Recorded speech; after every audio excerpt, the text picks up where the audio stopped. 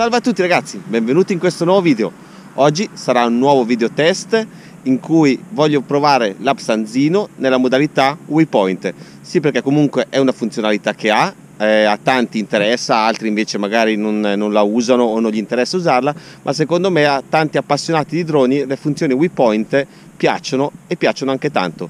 Quindi adesso eh, facciamo una prova in questo campo, tanto per avere un'idea sul eh, come creare i waypoint e vedere come lui reagisce alla creazione del percorso che gli andiamo a fare. Quindi ragazzi, adesso preparo tutto e proviamo l'app Sanzino che è là pronto in modalità waypoint.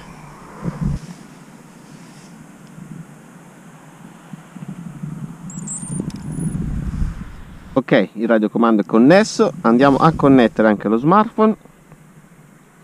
Quindi andiamo a aprire l'applicazione Apsan. Ok l'applicazione è aperta. Adesso aspettiamo che, eh, di avere comunque eh, i satelliti necessari per decollare. Adesso ne abbiamo 9 dobbiamo aspettare che ci dà l'ok ok ragazzi adesso ci autorizza a decollare quindi andiamo a cliccare sul simbolo eh, che abbiamo qua in alto a sinistra. Clicchiamo su waypoint mode. Qua eh, possiamo scegliere se creare una missione o eh, caricarne una che abbiamo in memoria. Ne creiamo una nuova. Qua dobbiamo andare a cliccare eh, quel, il pallino che c'è vicino al simbolo del mondo e selezionare eh, il, sim il, il simbolino che ci eh, porta alla posizione in cui siamo in questo momento. Ok vedete che ci ha eh, rilevato e ci ha portato qui eh, nel campo in cui eh, sono io in questo momento. A questo punto cliccando su drive possiamo selezionare eh, o meglio possiamo scegliere se eh, cliccando sulla prima matitina disegnare il percorso con il dito. Quindi vedete che io ho disegnato il percorso con il dito. Adesso lo vado a cancellare. O selezionando la matitina con i puntini andare a selezionare vedete il percorso mettendo eh, i puntini cliccando con il dito eh, sopra allo schermo. Adesso vado a eh, eliminare anche questo questo mh, mm, diciamo, percorso che ho fatto. Ah una cosa ragazzi possiamo mettere anche un po' quindi un punto di interesse. Io posso cliccare su poi metterlo e poi disegnarci un percorso intorno a quello sarà il punto di interesse eh, del nostro percorso. Quindi il drone in teoria dovrebbe tenere inquadrato quel punto di interesse che noi andiamo a mettere. Eh, mh, mm, una cosa che volevo farvi vedere è che quando andiamo a mettere eh, i punti di interesse che cliccando sul punto di interesse ci dà eh, l'altezza mm, del punto di interesse, cioè i 30 metri sono l'altezza dei nostri punti di interesse che possiamo andare anche a modificare singolarmente, eh, diciamo di default è impostato a 30 metri, possiamo scegliere se alzare, abbassare, se farne uno più alto, uno più basso, diciamo abbiamo anche questa possibilità.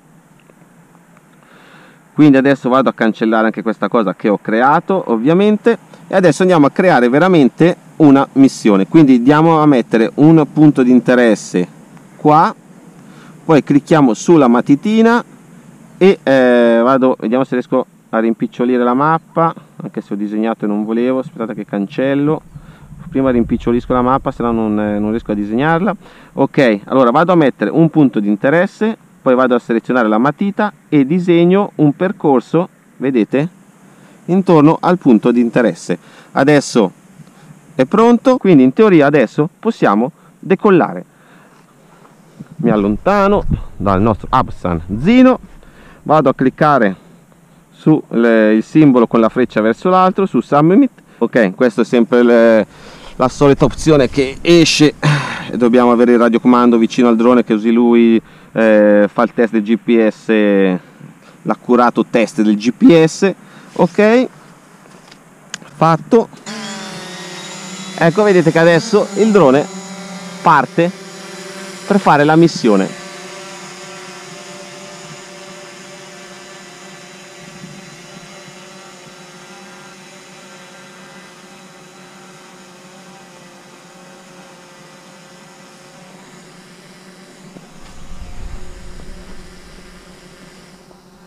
Sta salendo all'altezza di 30 metri abbiamo 12 satelliti quindi va benissimo. Ecco vedete che adesso il drone anche nel, nel display vedete che inizia a muoversi.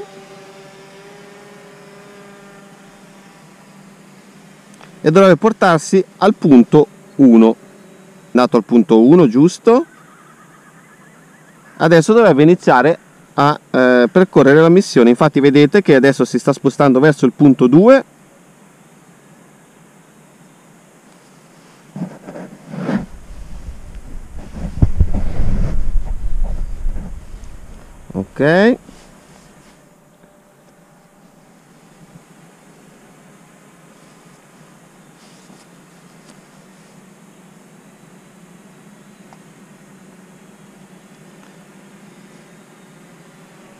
c'è anche un po' di neve oggi non so se l'avete notato penso di sì.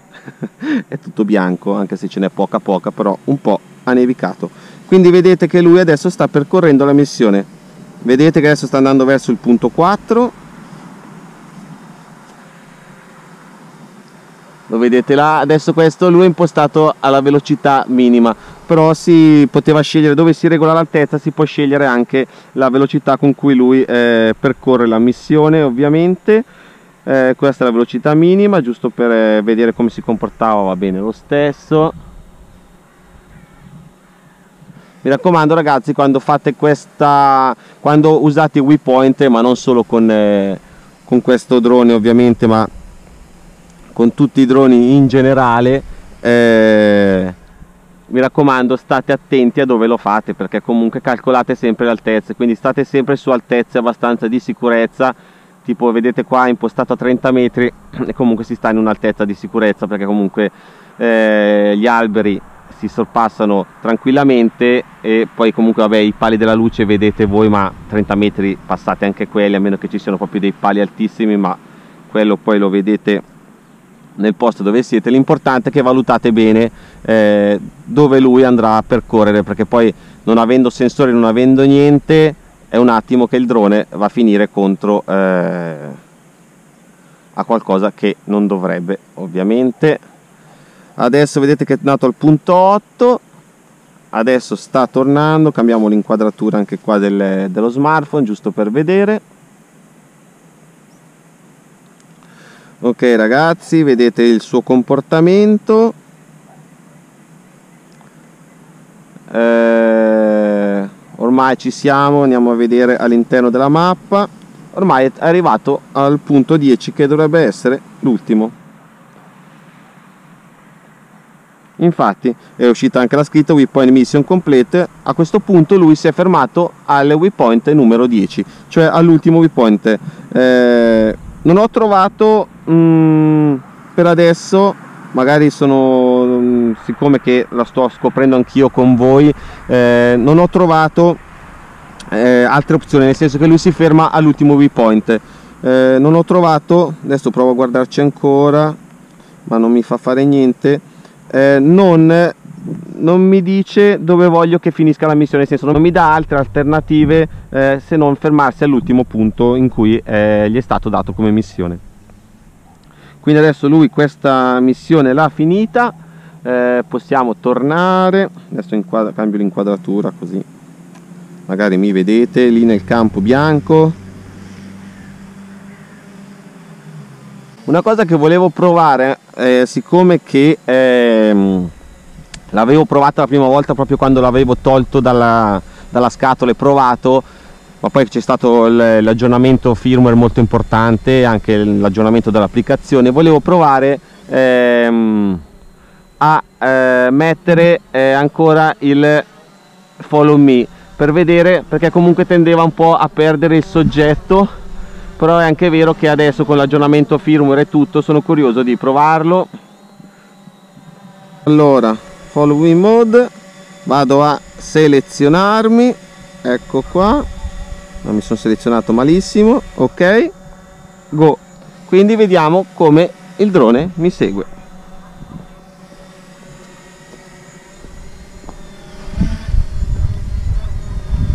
Vedete che mi sta seguendo? Se io mi fermo. Si ferma. Ok vediamo andargli incontro va anche indietro mentre l'altra volta indietro non andava si fermava. Eh, mentre adesso va anche indietro adesso ritorno qua. Provo a correre.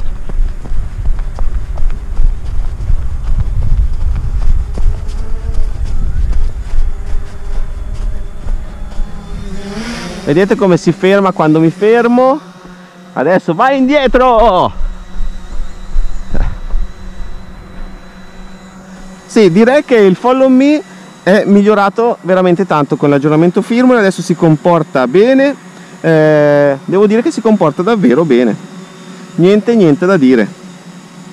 Visto che ho ancora circa il 50% di batterie volevo adesso provare qualche altra funzione volevo provare queste creative video.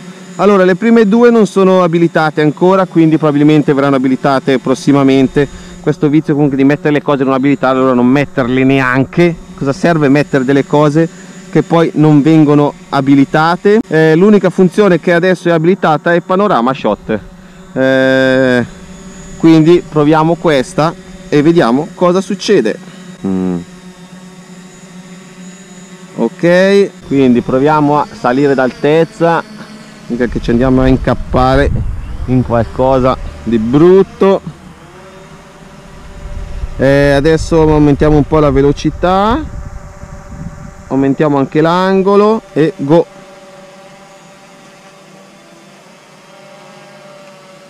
Sì vabbè alla fine non è niente di che gira su se stesso cioè. sì, il, diciamo il panorama shot è già finito. Aspettate che lo rifaccio lasciandolo andare più piano perché così veramente è stato troppo veloce quindi rimettiamo così la velocità la abbassiamo e go. Ok adesso gira un po' più lentamente. Eh, sì diciamo che gli avvisi di batterie veramente iniziano prestissimo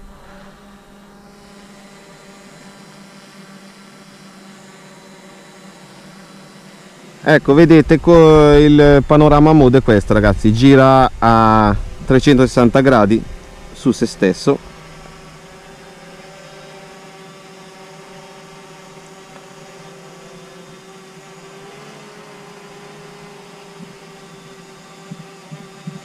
Ok il panorama mode è finito così. Eh, adesso torniamo nel menu un attimo. Eh, proviamo a guardare questo che non so cos'è. Line fly mode ah ok gli si dà un punto dove andare in teoria. Quindi possiamo dirgli adesso lo spostiamo lo facciamo scendere un pelo. Distanza 10 metri velocità ok. È partito avanti a una determinata velocità in teoria per 10 metri. Adesso ve lo faccio vedere da qui. Praticamente sì vabbè non boh che cacchio di funzione è è andato avanti di un po' di metri. Aspettate che la, la rifaccio che non, non l'ho proprio capita. Allora clicco qua. Allora praticamente bisognerebbe dargli allora la velocità si può regolare. L'angolo ok proviamo a aumentare l'angolo a vedere cosa succede. La distanza gli diamo magari qualche metro in più 30 metri. E la velocità un pochino di più quindi ok e gli diamo il via. Ah ok va all'indietro sempre prima perché è andato avanti sto coso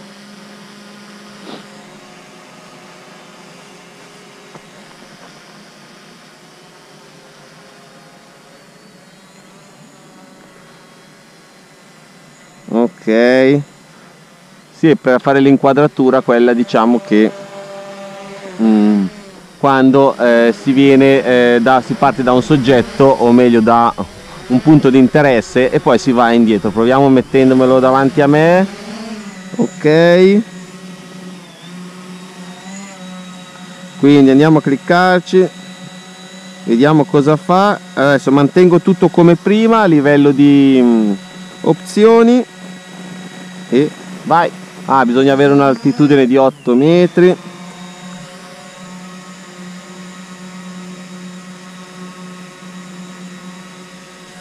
abbiamo il 30% di batterie. Eh ok sì vabbè niente di che ragazzi. A livello di voli preimpostati direi che c'è un po' da lavorare perché due non sono ancora abilitati e questo sì niente di che. Uno lo fa in manuale cosa cavoli cambia? Boh vabbè.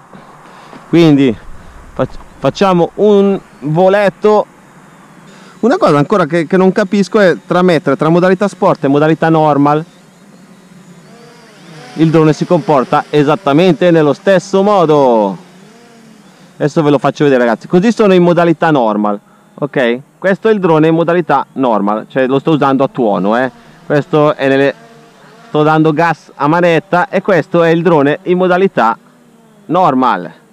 Adesso lo vado a mettere in modalità sport è praticamente la stessa cosa. E questa è un'altra cosa in cui deve Absan deve risolvere perché modalità cioè ok che in modalità normal va come modalità sport ma a livello cinematografico rimane poi un drone un po' troppo difficile da gestire nel senso che è un po' troppo sensibile un po' troppo performante per usarlo eh, per riprese video. Io di differenze non ne vedo cioè se io prendo il Mavic Air e lo metto in modalità sport un missile lo metto in modalità eh, normal eh, il drone è gestibilissimo e eh, mi permette di fare riprese cinematografiche strafighe. Questo invece se lo metti in modalità sport va a tuono se lo metti in modalità normal va a tuono e viceversa. Quindi già c'è questi stick ipermorbidi. Poi con questa cosa che anche in modalità normal è praticamente uguale alla modalità sport secondo me c'è un qualcosa da risolvere perché guardate adesso normal parto. Così. Adesso mi fermo metto modalità sport. Così è uguale. Cioè se c'è una differenza è veramente veramente minima che eh, a usare il drone non, non, si capisce praticamente neanche. Quindi io credo che Apsan in questo debba mettere mano perché non tanto perché switchando non cambia niente ma perché si andrebbe a migliorare sicuramente eh, addolcendo la modalità normal si andrebbe sicuramente a migliorare l'uso di questo drone per eh, uso cinematografico che poi è lo scopo di chi compra questo drone perché è inutile che mi fai un drone in 4k eh, con una telecamera che comunque è buona e stabilizzata bene ma il drone è un po' troppo sensibile da gestire per le riprese video che non che non si riesca ad usarlo però è un pochino troppo sensibile. Quindi adesso riatterriamo prima che mi fa il return to home e mi atterra nella neve. Quindi adesso lo vado a riportare. Okay, vedete come sensibile? Cioè è veramente veramente sensibile. Adesso sono in modalità normal. Quindi adesso lo portiamo al landing